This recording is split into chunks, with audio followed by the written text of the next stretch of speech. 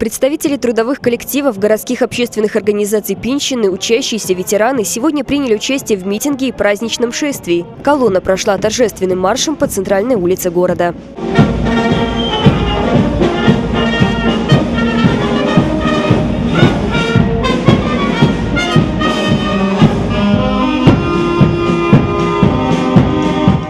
7 ноября – День Октябрьской революции. К этой исторической дате современники относятся по-разному. Неоспоримо одно – Октябрьская революция стала ключевым событием, перевернувшим ход истории 20 века. Она пробудила огромный потенциал народа, сплотила в стремлении построить общество социальной справедливости.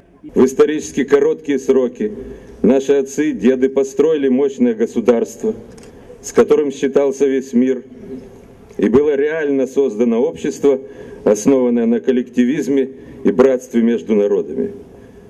Сегодня мы никому не навязываем свои взгляды и оценки. С уважением и пониманием относимся к другим взглядам, кроме откровенно фашистских. Но мы настаиваем на том, чтобы октябрь и годы советской власти оценивали объективно.